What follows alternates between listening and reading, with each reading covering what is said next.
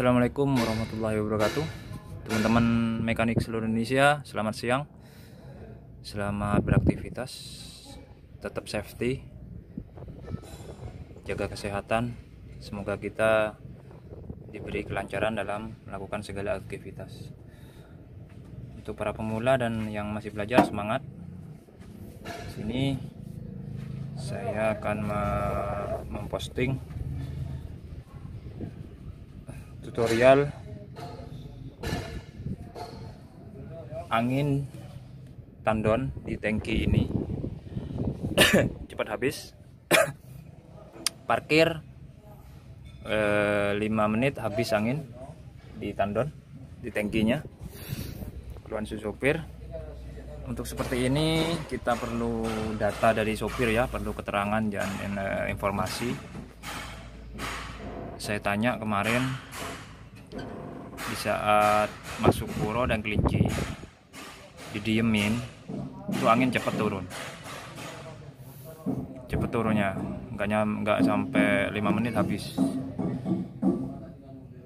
Yang kedua di saat gigi masuk parkir gigi masuk berapapun itu itu angin awet kata si sopirnya. Eh, saya cek dan saya lakukan eh, apa ya pengecekan sesuai informasi dari sopir yang pasti indikasinya kita bagian eh, valve ya valve knock on. Dan pendorongnya juga yang ini. Oke setelah saya melakukan pengecekan tutorialnya kalian gigi netral posisi lurus di power shift gigi netral dan kalian semprot air di sini.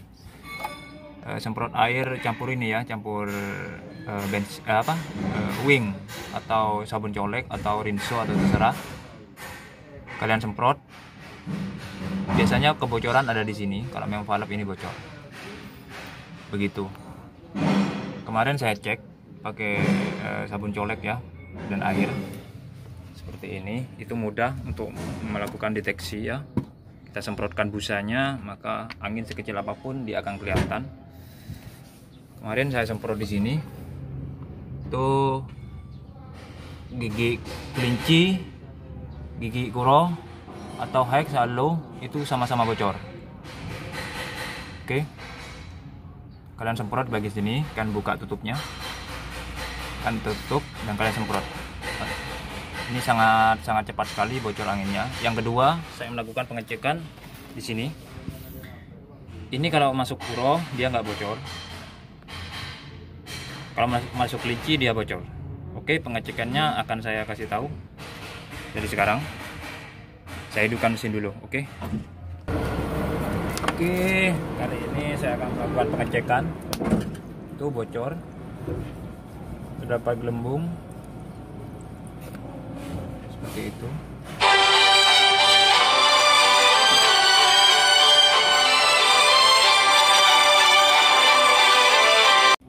Oke teman-teman kali ini saya akan melakukan pengecekan ya.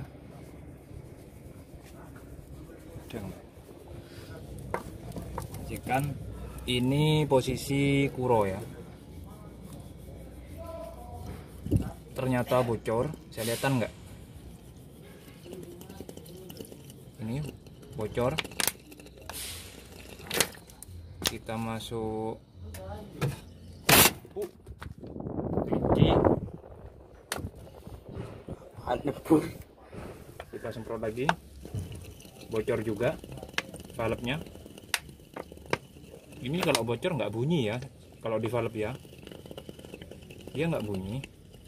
Jadi kalian mudah tertipu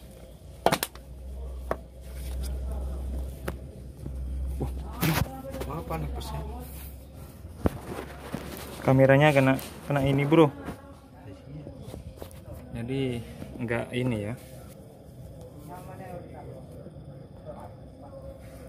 Kalian jangan eh, mudah dia nggak bunyi soalnya. Ya. dia nggak bunyi kalau di valve. Jadi kalian ngeceknya seperti ini. Kalau masuk ini kalian dari transmisi ya Heglo kita deteksinya seperti yang saya bilang tadi ya. Untuk belakang untuk puro kelincinya pendorongnya ayo. Ini posisi masuk kelinci berarti dia dorong ke depan. Kalau dia dorong ke depan di sini anginnya ada di sini. Pasti. Nah ini ada angin ini posisi dorong. Jadi kita bukanya di sini. Ini seharusnya nggak ada angin. Kalau memang dia pendorongnya nggak bocor ya. Oh ternyata ini ada angin bro. Ini yang bocor. Bisa dilihat.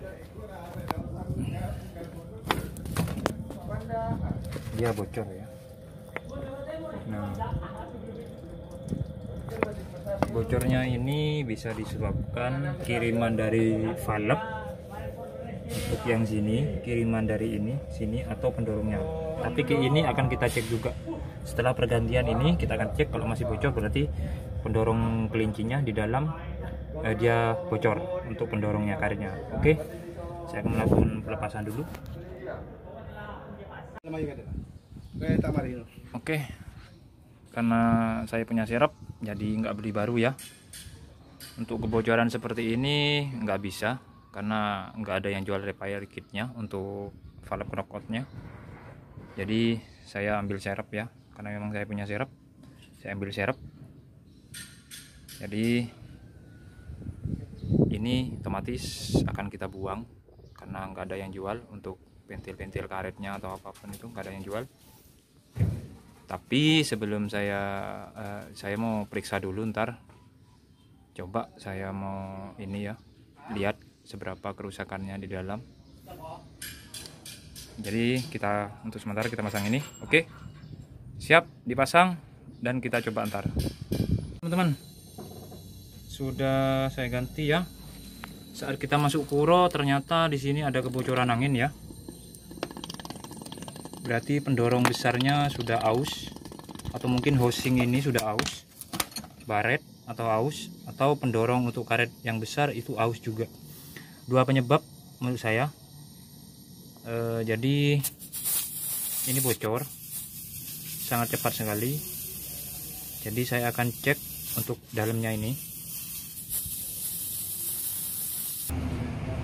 Oke teman-teman ternyata yang bermasalah adalah pendorong besarnya ya sudah aus untuk karetnya. Nah ini sudah aus. Saya coba the tiup tadi seperti ini. Saya buntu pakai tangan ini dan saya tiup dari lubang untuk uh, kelincinya. Ternyata bocor anginnya ya. Jadi saya ganti. Sudah saya ganti. Karena ada serep saya ganti. Dan saya coba tiup pasang sini tiup. Memang nggak bocor aman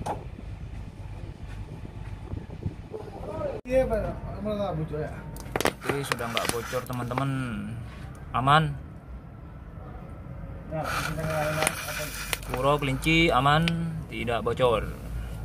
Berarti pekerjaan saya selesai. Dan bapak supirnya biar enak.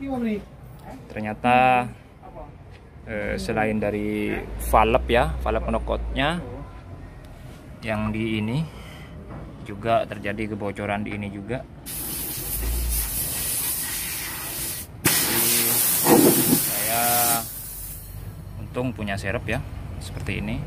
Karena ini susah untuk didapat di toko susah banget. Jadi alhamdulillah sudah dapat. Karena memang ini sudah aus ya bibirnya. Oke sekian dulu untuk eh, penyebab kebocoran angin saat guguk uh, gigi kuro kelinci. Semoga bermanfaat uh, tutorial saya. Buat teman-teman semangat dan sehat selalu. Jaga kesehatan ya.